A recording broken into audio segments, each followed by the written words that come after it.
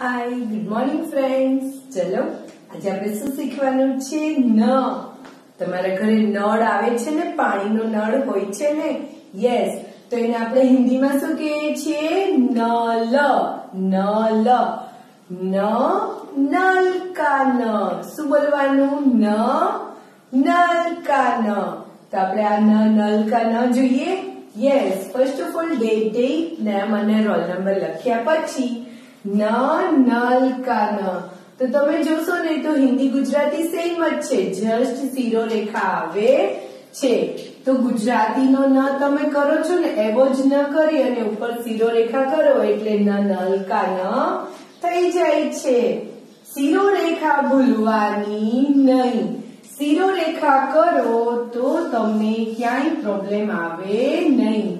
જો શિરોરેખા વગર તમે એમ નામ જ લખેલું હોય, તો તમારો જવાબ કેવો થાય? ખોટો.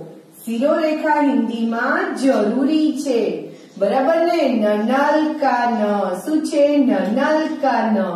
એક વખત રિવિઝન કરીએ ફ્રેન્ડ્સ ક યસ કબૂતર કા ક, ખ, ખરગોશ કા ખ, ગ, ગમલે કા ગ, ઘર કા ગ.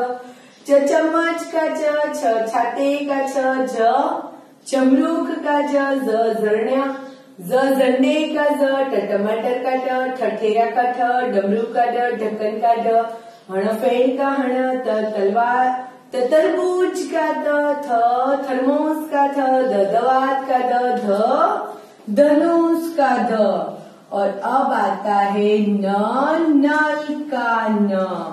બરાબર ને ફ્રેન્ડ્સ ન નલ કા ન તો ફૂલ પેજ સરસ અક્ષરે લખીએ છીએ ફ્રેન્ડ્સ હજી નીચે આપણા માટે કંઈક છે શું છે ક્વેશ્ચન ટુ જોઈન જોઈન એટલે જોડો ધ પિક્ચર એટલે જે પિક્ચર આપેલા છે ચિત્ર આપેલા છે એ and letter picture and letter આને કહેવાય લેટર આને કહેવાય પિક્ચર આપણે જોડવાના છે પણ આમ ગમે ત્યાં જોડવાના છે નહીં તો ये क्या है छाता है तो छाते का छ।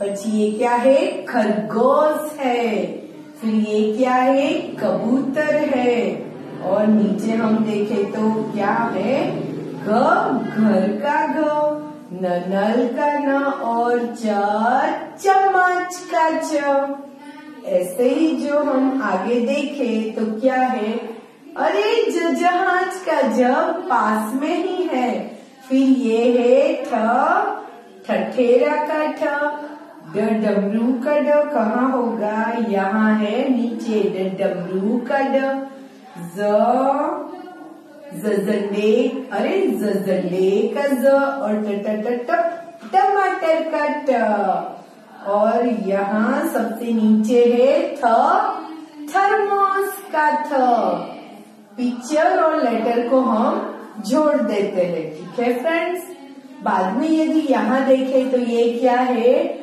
हणफेन, फेन ये है ना, हणफेन का हण, द दवात का द दवात कहाँ है?